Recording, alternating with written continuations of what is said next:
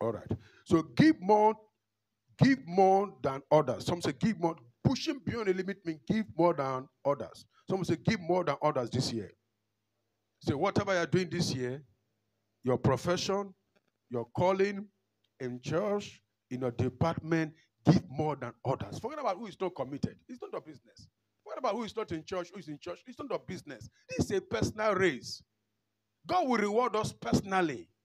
You must know that. He will not give my reward to you, not a reward to me.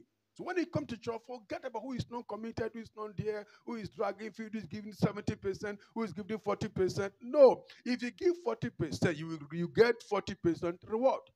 If you give 50% reward, you get 50% reward.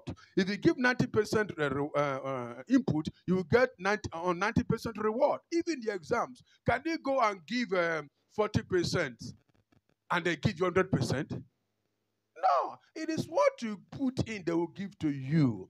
If you put in the effort of 100 that required meet 100% requirement, they give you 100% requirement. The same thing in God, the same thing in church. So when you come to church, it is what you give to God that God will give back to you.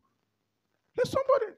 If you give God 50% of your time, of your energy, of your devotion, that's what you're going to get. If you give God 100%, of your commitment, of your service to God, He will give you 100% result. Hello, somebody. Hello, we need to understand this. We need to understand it. I told you my story. In this Port I used to move from my fort to Bundu Waterside, preach here, go back, trek, no food, listen to Port We are given 100%. We are not paid, though. We are not paid. Of course, man, you are aware. We are not paid. Full time pastor were not paid. In this Port but we're doing this work with 100%. Never beg for members. We know that we are giving. And today, by the grace of God, is helping some of us. So it is what you give that God will give back to you. It is what you give to society that society will give back to you. So when you come to church, don't just come and you are doing for you're not doing it for pastor, you're not doing it for any member here. The church belongs to you. You are the church. You are the church. And as a member of the church, you, it is your it is your it is your it is your uh your your responsibility to do to add value to the church where you claim to belong. So if you're not adding value to the church where you belong, of your, com- your value of commitment, devotion, and faithfulness, you don't expect God to reward you. Everyone shall be rewarded according to their input to his kingdom. If you give God on 30%, he will give you what? 30%. They give God 50% of your commitment, he will give you 50% reward. Hello, somebody. So if you give God 100% reward, uh, commitment to his service, devotion to his kingdom, he will give you, in fact, even God will give you even more. Hello, somebody. Say, he that sow in wind shall reap what? Wild win. So God will always give you more than what you give to Him. This year, tell the neighbor, say from, from today, I will give my all. Say from today, I'll give 100% commitment to the service of God. Whichever department, whatsoever God has called me to do this year, I will give my very best. I will push beyond the limit. I'll give 100%. Give Him praise. So don't look at anybody. And this sister is not there. This brother, now let me they work. Now let me. No, it's not your business. It's, uh, it's not about. It's not, it's not about the brother. It's about God. It's, about, it's between you and your God. It's between you and your God. It's between you and your God. Your sacrifice is between you and your God. So I'm saying, all I'm doing now, what has, this, what has the church done for me? Then forget. You think that God is not watching you? It is God that will touch the people to bless you. It's God. Hallelujah. I've told you how some years ago I prayed for somebody many years ago. I've forgotten. I wasn't even thinking about a car. But the God has to flog the man to send me a car. For a whole year, he refused to give me the car. I wasn't even I was not thinking about I had a good car then. But God has to flog the man and send the car key from uh, from whichever way, from abroad to me. Why? Because I was busy doing this work. When you do God's work, God will take care of you. Somebody hear that. If you do God's work, God will take care of you. If you take care of God's business, God will take care of your business. Say it if you take care of God's business, God will take care of your business. If you do God's work effectively, God will also take care of your business and your life, your career effectively. Give him praise. So give your heart. You are not looking for anybody. Whatever you can do to promote the church, do it. Praise God. Hallelujah. That's why I like one of the young man here, brother Yobo. I keep on saying whether I have him or not. No, but when this guy go blow, they go surprise on him. When he go blow, and he must blow.